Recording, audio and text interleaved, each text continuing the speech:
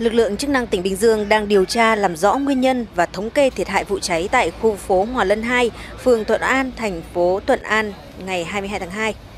Thống kê ban đầu thì khu đất xảy ra hỏa hoạn gồm 1.000 m2, diện tích cháy là 450 m2, gồm 5 kiosk và cửa hàng đồ gỗ.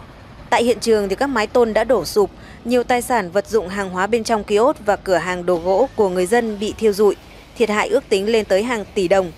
Trước đó như VOV đã đưa tin, vụ hỏa hoạn xảy ra vào khoảng 7 giờ sáng 22 tháng 2.